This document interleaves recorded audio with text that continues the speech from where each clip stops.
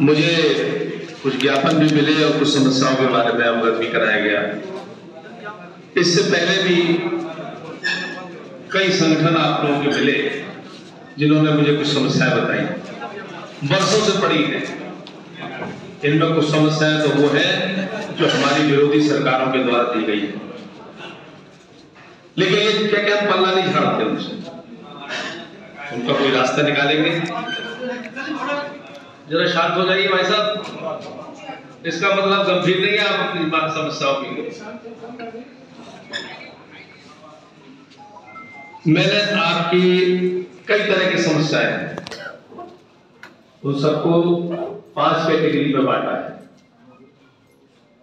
और अपने एसीएस को कहा है कि पाँच संगठनों के प्रतिनिधि पर बुलाइए। मैं बैठूँगा।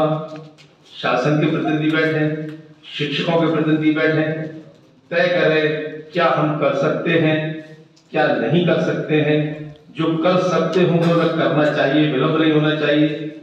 जो नहीं कर सकते होंगे उनके लिए माफ़ी मांगेंगे। आप भी इंसान है, मैं भी इंसान हूँ। आप भी समझते हैं कि क्या हो सकता है और क्या नहीं हो सकता। लेकिन हम समझेंगे, करने का संकल्प लेके समझेंगे। समस्याओं का निदान और कुछ ना कुछ परिणाम निकलेगा आपको लग रहा होगा कि इस जो योगी सरकार दो में कुछ इस ओर प्रगति हो रही है कि शिक्षा की समस्याएँ दूर हो, शिक्षकों की समस्याएँ दूर हो। धन्यवाद।